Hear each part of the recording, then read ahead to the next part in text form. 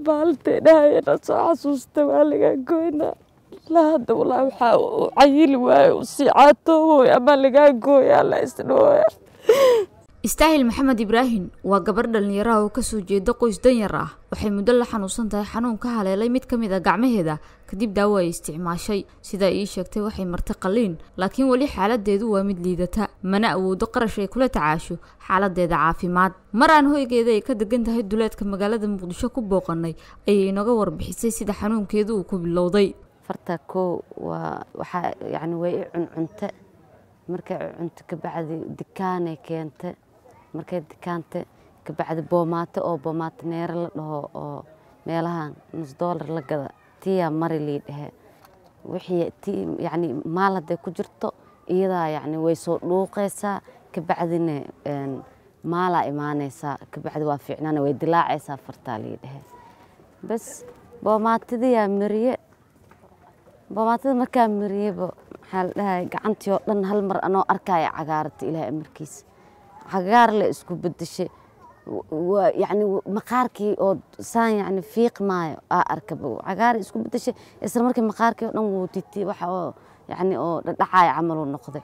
Maqaarkii isla markii isbitaalka oo meeshaan aan aadnay qaliinaa lagu sameeyey hilbihii wixii oo dhanaa laga gura maqaarkii wixii oo dhan dhulkaa la dhiga haddana cajirka waxaa la dhahay maqaara looga qaadaa soonkii oo daraati ramadaankii waxaa la dhahay maqaara looga qaadaa cajirka maadaama maqaar la'aan ay tahay gacanta maqaar aysan lahayn waa la saarayaa la liigu sameeyey isbitaalka.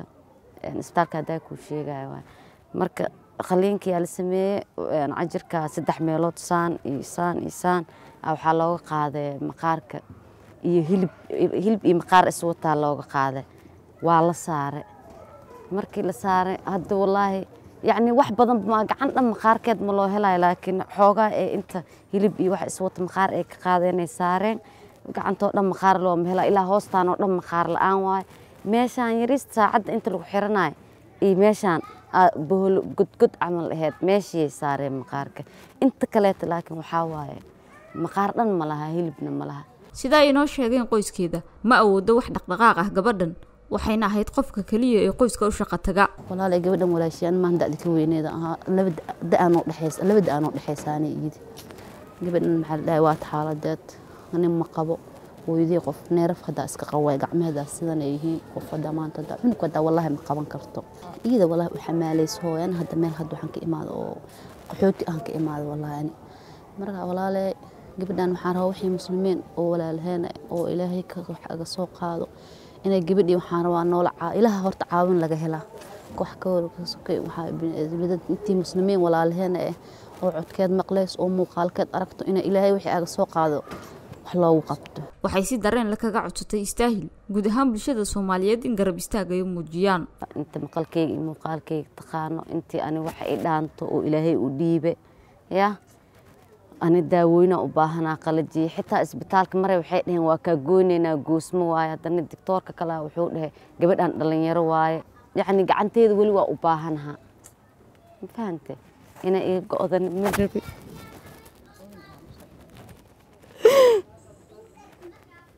bas abaa intan ka badan ma hadli karin bas.